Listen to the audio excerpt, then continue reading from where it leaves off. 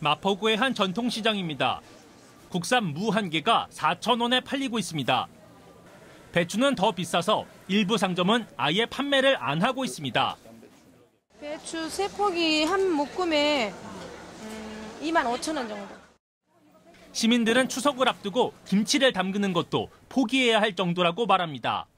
비싸요. 원래 얼마 생각하셨어요?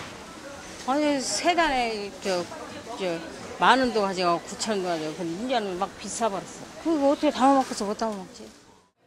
과일도 평소보다 비싸서 나주 햇배 한 개에 4,000원, 왕사과 한 개에 2,000원에 팔리고 있습니다.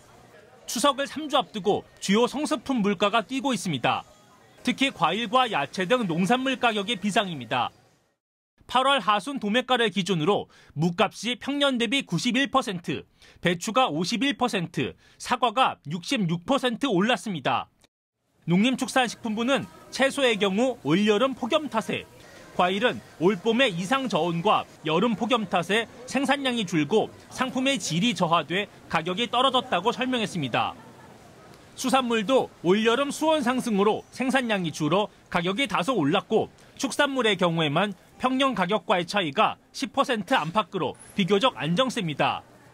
정부는 이번 추석 차례상 비용이 크게 오를 것을 우려해 평년보다 서둘러 물가 대책을 내놨습니다.